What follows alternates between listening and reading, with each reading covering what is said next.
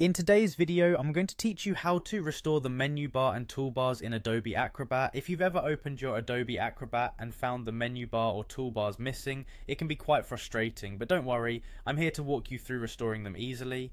First, let's get started by opening your Adobe Acrobat application. Once you have that open, I'll show you a couple of different ways you can restore the menu bar. The first method is quite straightforward, simply press the F9 key on your keyboard. This is a quick toggle that allows you to easily hide or show the menu bar, making your interface clean or detailed as per your needs. If you're someone who prefers using menus over keyboard shortcuts, there's another way to achieve the same result. Go to the top of the window and click on View. From there navigate to the Show slash Hide option and within that drop down select Menu Bar. This will bring back the menu bar if it's currently hidden. Now when it comes to opening up your PDF files, just go ahead and open any PDF in Adobe Acrobat to start making use of the restored menu bar.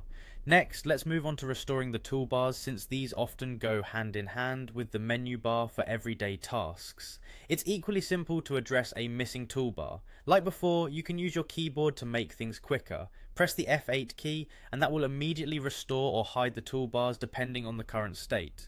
For those of you who like to navigate via buttons and menus, there's an alternative to this as well. Again, head over to the view menu at the top. Once there, go to show hide, then select toolbar items, and finally, you will see an option called reset toolbars. Clicking this will refresh and restore your toolbar setup to its default state, perfect for when you've made changes that aren't working for you. Remember, these tips work regardless of whether you're using Adobe Acrobat for reading PDFs, reviewing documents, or adding your annotations. With these simple steps, you'll have full control over your workspace, allowing you to work more efficiently. Thanks so much for watching, and I hope this walkthrough helped you restore any missing menus or toolbars in Adobe Acrobat.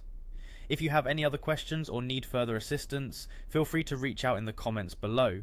Don't forget to like and subscribe for more helpful tips and tutorials in the future. See you next time.